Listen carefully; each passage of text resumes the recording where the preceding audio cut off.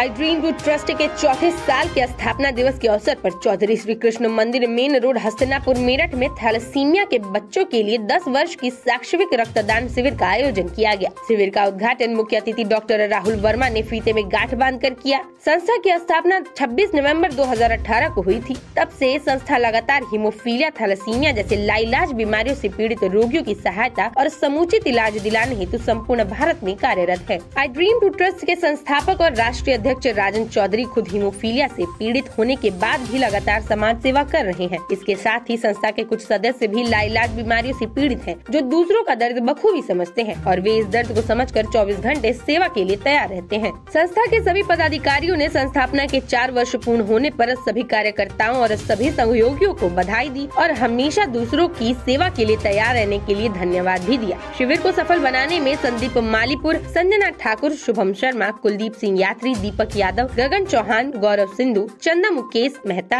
अंकुश, उपेंद्र चौधरी आदि ने अपना विशेष योगदान दिया। संस्था की ओर से सभी रक्त शिविरों को सम्मान प्रतीक और सम्मान पत्र देकर सम्मानित भी किया गया। इसके साथ ही blood bank medical college Meerut के द्वारा कुल 45 यूनिट रक्त एकत्रित किया गया। मेरा नाम राजन चौधरी है। मैं आई टी ट्रस्ट का राष्ट्रीय अध्यक्ष व संस्थापक हूँ।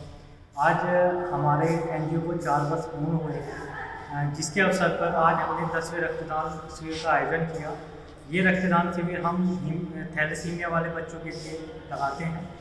थैलेसीमिया एक ऐसी लाइलाज बीमारी है जिसमें हर पंद्रह से बीस दिन में बच्चों को ब्लड चढ़ता है। अगर उन्हें ब्लड नहीं मिलता तो उनकी मौत हो सकती है। और हमारी संस्था पिछले चार सालों में लगभग 800 लोगों को रक्त दिलवा चुकी है। और पिछले एक साल में हम लोगों ने काफ़ी सारे ऐसे कार्यक्रम किए हैं जो हीमोफीलिया तथा थैलेसीमिया के लिए फ़ायदेमंद रहे हैं, उनकी मदद की है। जो उनसे, उन बीमारियों से, जो लाइलाज बीमारियों से पीड़ित लोग हैं, उन लोगों की हमने मदद की है, चाहे वो आर्थिक रूप से हो या फिर किसी और रूप से हो। हमारा हमेशा से यही प्रयास रहा है कि हम अधिक से अधिक लोगों तक अपनी मदद पहुँचा पाएँ और हम यही प्रयास आगे भी करते रहेंगे कि जो भी ज़रूरतमंद है, उसकी समय पर पूरी मदद हो, ताकि उन लोगों को एक नया जीवन दिलाने का हमारा जो प्रयास है, उसमें हम सफल हो पाए। हम उम्मीद करते हैं कि आप सभी के सहयोग से हम निरंतर इसी तरीके से सेवा अपनी करती रहेंगे। और मैं तो बस इतना ही कहूँगा, आज स्थापना दिवस के अवसर पर कि यदि आप सबका सहयोग ना होता तो आज हम शायद चार वर्ष पूर्ण ना कर पाते। फिर चाहे वो आई का हमारा परिवार हो, जिसके हर एक सदस्य हर एक इवेंट में पूरी मेहनत करता है, पूरी लगन के साथ कार्य करते हैं। या फिर आप लोग हो, चाहे वो सोशल मीडिया के माध्यम से हमें सहयोग करते हो, या फिर कुछ ऐसे लोग हैं जो हमें आर्थिक रूप से भी सहायता करते हैं।